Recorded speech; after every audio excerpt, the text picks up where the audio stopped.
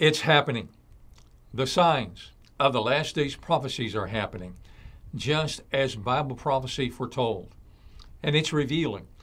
We are nearing the end of this age of grace and the appearance of our Lord Jesus Christ for his church.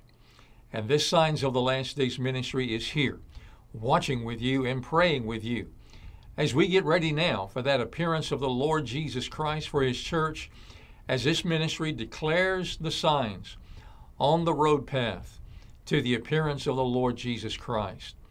Thank you so much for being a part of this Signs of the Last Days ministry community, praying and giving to support this ministry.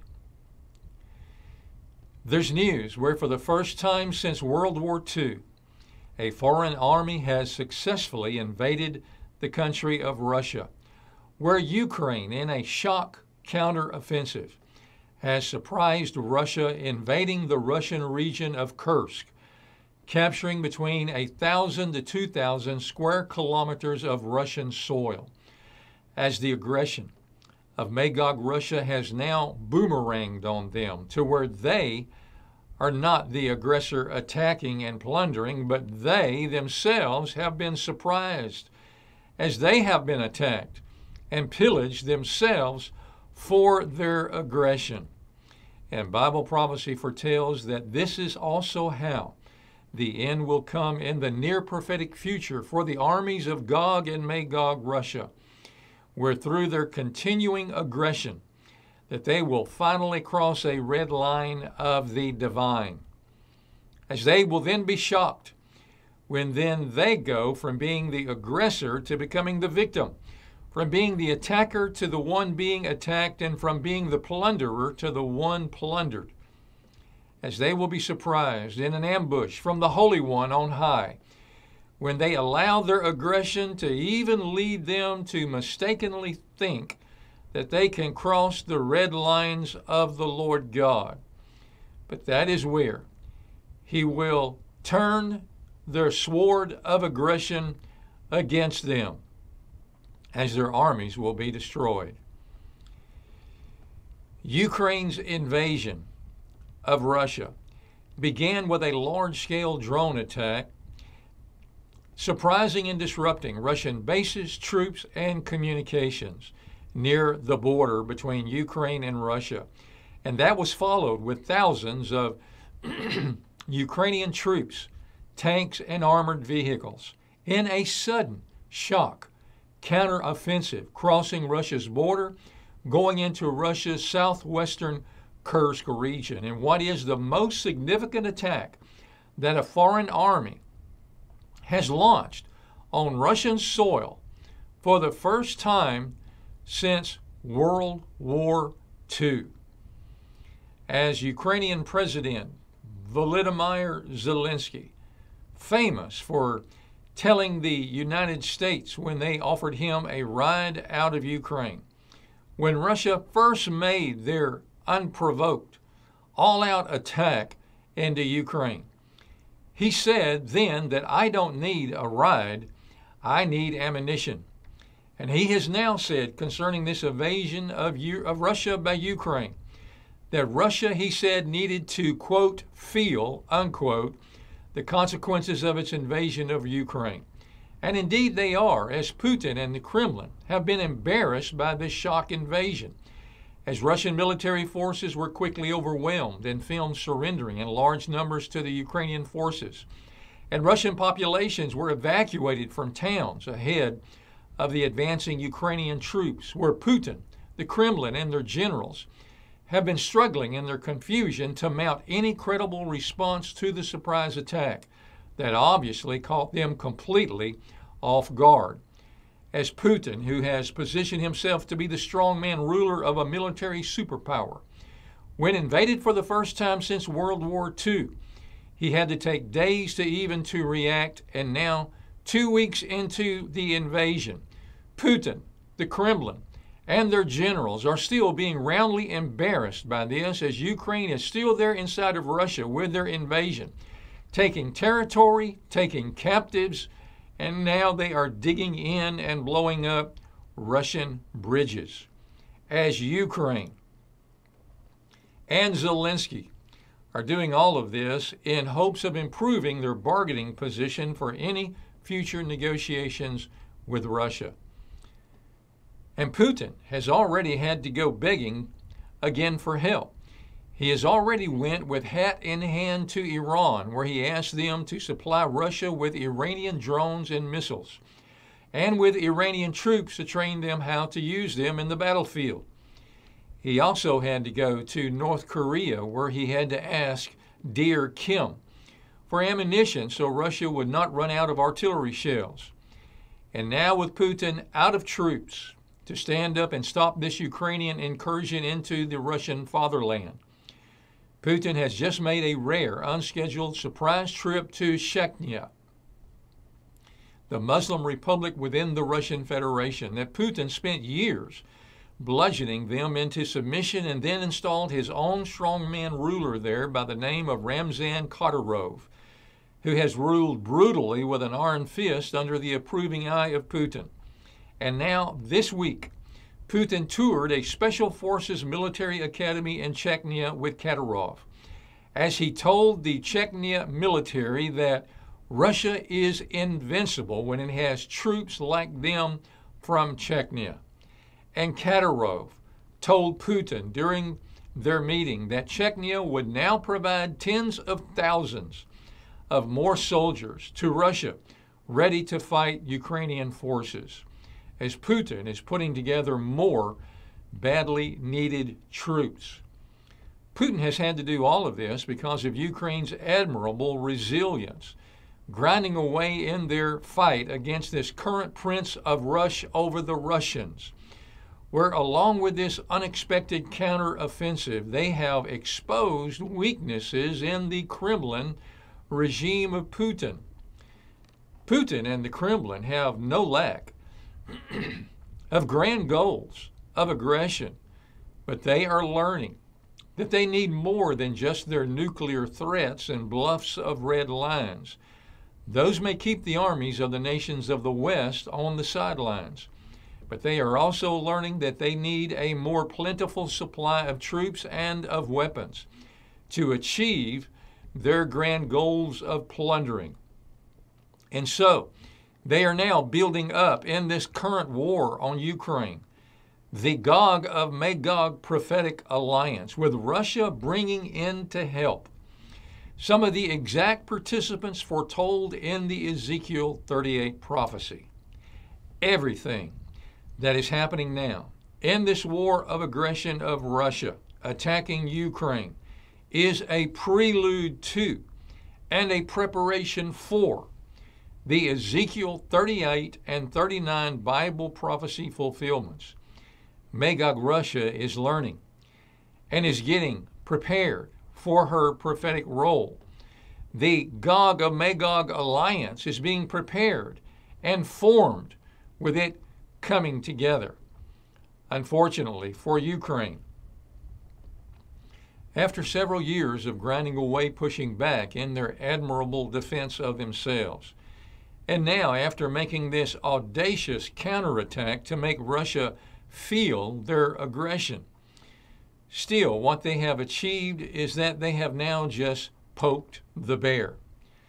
To keep all of this in perspective, the aggressive, huge Russian bear has already invaded and taken over 25% or one quarter of the country of Ukraine, which some say that is between 60 to 70,000 square miles of Ukrainian territory that the Russian bear has already taken.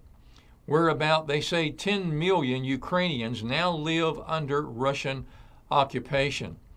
And now, on a monthly or even weekly basis, Russian missiles are still hitting Ukrainian towns and infrastructure.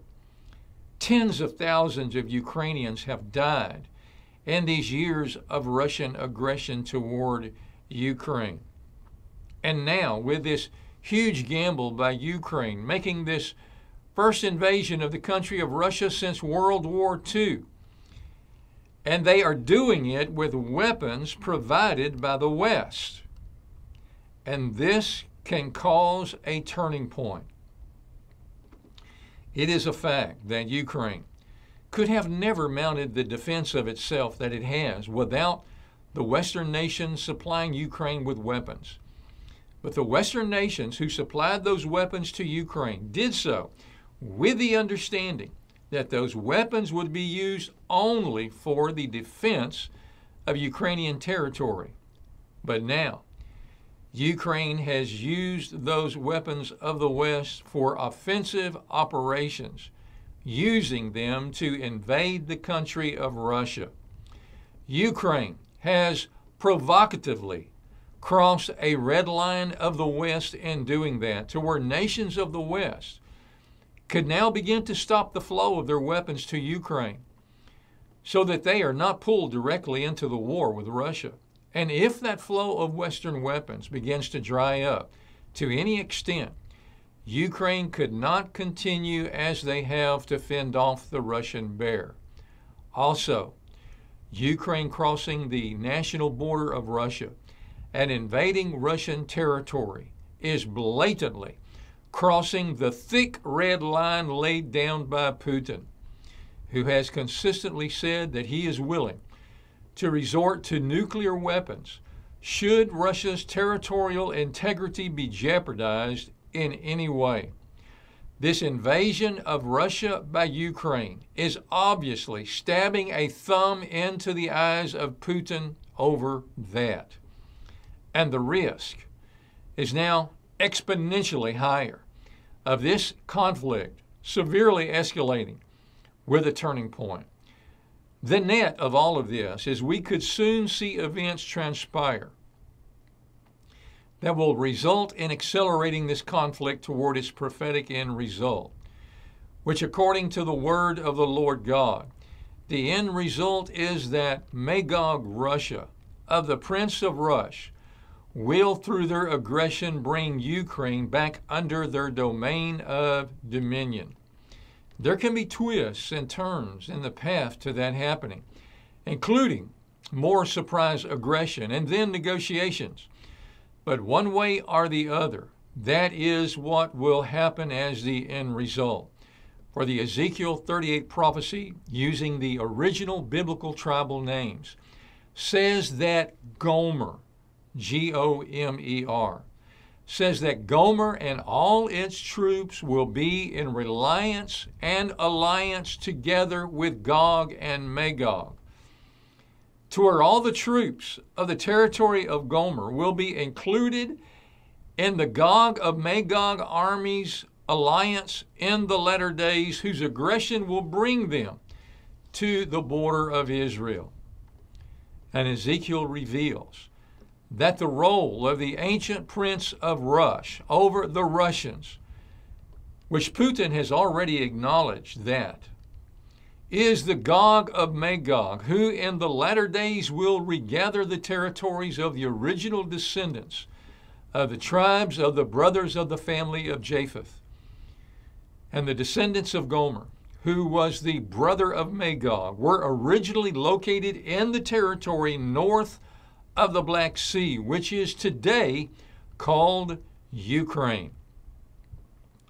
And that territory of Gomer, which is today called Ukraine, was just west of the territory of the descendants of Magog along the Volga River, which is the great river of Russia that flows through the heart of Russia and only flows through Russia. And according to the Ezekiel prophecy, in the latter days, the inhabitants of that territory of the descendants of Gomer will be with Gog of Magog, the prince of Rosh, over the Russians. But the one lesson that Russia will not be able to learn now in their war of aggression on Ukraine, they will not learn the lesson that their aggression can boomerang on them to where they go from being the aggressor doing the attacking to being the one attacked. And they go from being the plunderer to being the one plundered. For the Bible prophecy of Ezekiel foretells that they will be surprised and shocked in an ambush from the Holy One on high when their aggression leads them to cross the red line of the Divine One by crossing the border of the Holy Land of God into the mountains of Israel. And then the prophecy describes that the Lord God will turn their own sword against them, as their own aggression will destroy their own armies on the mountains of Israel. And what is happening now in this war of aggression of Russia on Ukraine is preparing for the Ezekiel 38 and 39 Bible prophecy fulfillments of the last days to soon come. As these events and conditions happening now in the world are warning signs pointing to the nearing fulfillment of the last days prophecies at the end of this age, revealing that it's time to prepare now for the nearing appearance of Jesus Christ for his church by being born again into the kingdom of God by the water and the Spirit, as Lord Jesus commanded that we must. In John chapter 3 and verse 3 and John chapter 3 and verse 5. As Jesus said, we must be born again of the water and the Spirit, and as his apostles authorized and sanctioned by the Lord Jesus in Matthew chapter 16, verses 18 through 19, described how in the Acts of their preaching, in the Acts of the Apostles, chapters 2, 8, 10, and 19. And if you would like help finding someone in your area where you're located to biblically pray for you and baptize you, according to the acts of the preaching of Jesus and his chosen apostles, actually in their Holy Bible scriptures. You can contact us here at Signs of the Last Days Ministry to help you find someone. Our contact information is down at the very bottom of our website. Our website is signsoftheLastDays.org. And down at the very bottom of the page in the footer, in the smaller print, you will find our email address. Please just email us with the name of your town, your state, and your zip code with your request, and we will be glad to respond and to help, just as we have helped so many people all across the United States and other countries. The prophecy has come true. The perilous times, they're here. And the need is greater than ever before to declare the signs of the last days prophecies that Jesus is soon to come for his church. And we need your help your prayers, and your giving support. If each of our viewers would give a donation as the Lord leads you, whatever the amount, we believe that will help to ensure that the signs of biblical prophecy continue to be shared here on this prophetic ministry channel with the world. And you can securely give on our website, signsofTheLastDays.org, on the giving page, whatever amount that the Lord leads you to help Signs of the Last Days ministry to continue sharing the signs of biblical prophecy that Jesus is soon to appear. And we thank you so much for your support. Please be watching for our next videos and also for our next Watch and Pray live stream broadcast. As our Watch and Pray live stream on Sunday evenings, where we have a prophetic word from the Lord then to share with our last days church of more signs of the last days prophecies happening now. Please make sure you're subscribed to and following this channel and that you click the bell to get all notifications for our live streams and videos as we will be sharing more prophetic signs of the end time prophecies that are happening now in the world, showing that the time of this age is short. redemption